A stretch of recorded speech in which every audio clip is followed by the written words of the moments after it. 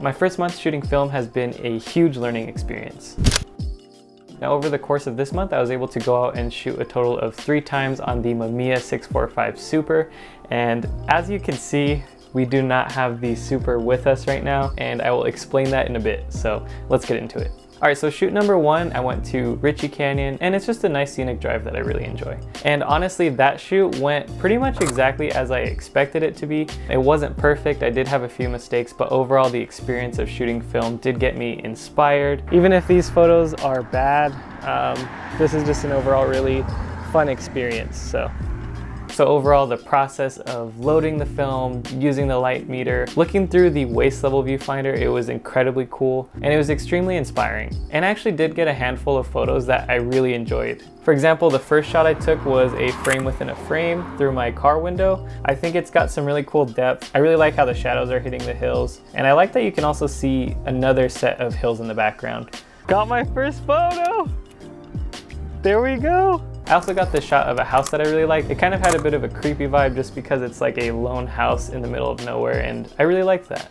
The rest of the shots that I got of subjects were all out of focus and that is simply just because I didn't know that you're supposed to look at the center circle in the viewfinder and line up the images. Personally, I was expecting to make mistakes, especially on my first shoot, so it honestly wasn't really a big deal to me. And I got into film photography because I wanted a refreshing experience and just something new to learn and have fun with. And that's exactly what this was. So shoot number one, I would say it was a win for me because I had a blast. And now shoot number two was actually an unfortunate bummer compared to the first time I went shooting. So my plan was to go to the city of Redlands and I wanted to shoot some of the houses and just some cool landscapes throughout the town. The houses were built in the 18 or 1900s, I believe, so they just look much more different than anything I'm used to seeing around me. So I had woken up at 5.30 and left and I was feeling inspired by Bray Hunziker. I really love his videos, so I wanted to shoot some drone footage as like a cool intro, and I really enjoyed those shots. That was a good start. But once I got into the town of Redlands, that's where it all went downhill.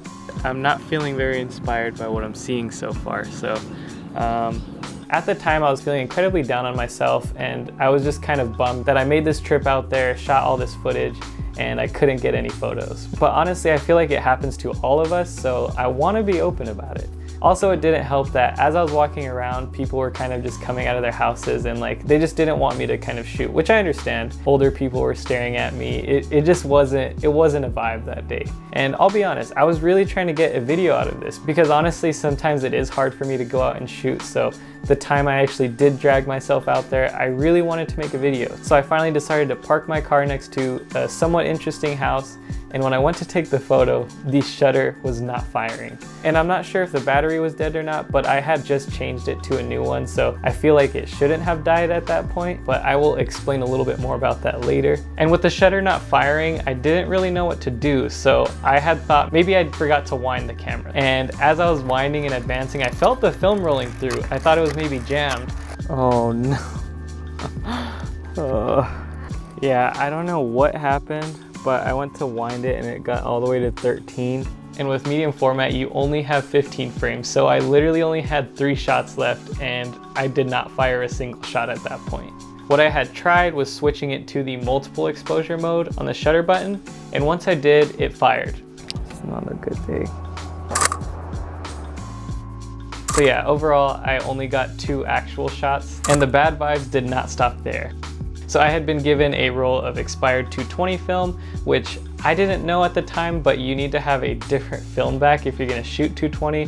Here is to round two of trying to shoot and I moved to a different city. I was walking around the city of Loma Linda. I had finally gotten my groove back. I even decided to just leave the FX3 in the car so I can just focus on shooting. And overall, I spent like two hours shooting. And then after I had sent them in to get developed, I had gotten an email from the film lab saying that my whole roll of 220 was blank. So overall, shoot number two was incredibly rough. I pretty much wasted two whole rolls of film. I only got two photos in. And yeah, just keep in mind that my shutter was not firing. I repeat, the shutter was not firing. And for shoot number three, I actually wanted to shoot portraits with my girlfriend. So we had went to this park. I had a fresh battery in the camera. I had a fresh roll of Portra 400. The park was beautiful. The lighting was beautiful. My girlfriend's beautiful. And when it came to shooting the first shot, again, why is it not firing? The shutter was not firing. And when I was pressing the shutter, it would make a little clicking noise. Okay, one, two, and so that made me think like it wants to fire, but it's just not. And as we're messing around with it, the shutter just goes off randomly. Out of all the probably 100 times we kept pressing the shutter to see if it would go off, it went off twice. So that's the thing that started to make me realize that my camera was most likely broken. So for the duration of shoot, I switched it to the multiple exposure mode and we got a couple shots that we liked. And throughout the shoot, I was really trying to get more posed images. And honestly, I was trying to mimic cool portraits that I've seen before. But then my girlfriend wanted to take just a fun one, which was just her running and jumping. And honestly, that actually became my favorite image out of all of them. This was more of a fun and just goofy photo, but that's how I would describe my girlfriend. She's very fun, very goofy, very sweet. And honestly, this image I feel like just really encapsulates who she is. So I gotta say, the lesson that I learned with that is don't try to necessarily shoot what's cool, try to shoot what's true to you and what's true to your subject. And once I finished the first roll, I did consider putting through another roll, but knowing my camera was broken, it was just an incredible bummer for the day. So I stopped shooting. So the next day I went and checked eBay because I remembered that they do have a money back guarantee and I had two days to return it before that expired. So I returned the Mamiya 645 Super. And I know I probably could have taken it to a repair shop, but I did pay good money for a mint condition functioning Mamiya, so I just decided to cut my losses there and return it. So that is an extremely good thing about eBay. You're backed by the money back guarantee. So yeah, I gotta say RIP to the Mamiya 645 Super, but I actually recently picked up a Bronica ETRSI, which should be coming in the mail soon.